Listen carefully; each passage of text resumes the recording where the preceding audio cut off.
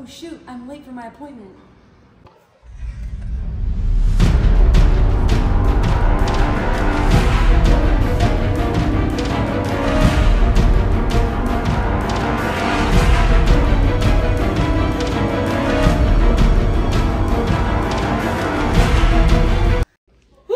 Did I make it on time? I'm putting on my hand sanitizer and making sure that it's completely dry. Hi, I'm Anna. I'm going to be your PT today.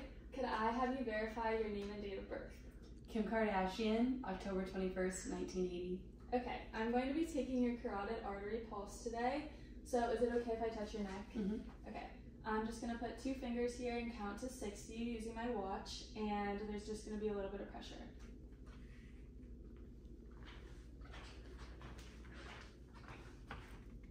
Alright, it has been 60 seconds. So your carotid artery pulse was 115 beats per minute.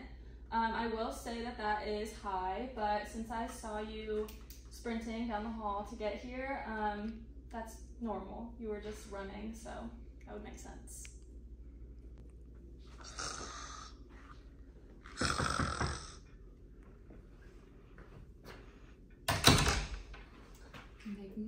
Sure to sanitize my hands and that they're completely dry before I work with the patient. Hello? Hi. Hi, I'm Olivia. I'm going to be your PT today. Okay. Can I have your name and date of birth? It's Robert Kardashian, birthday March 17th, 1987. Perfect. Okay, so the first thing we're going to do today is get your pulse.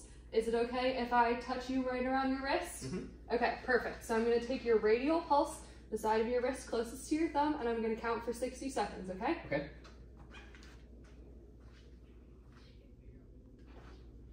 Okay, that's 60 seconds.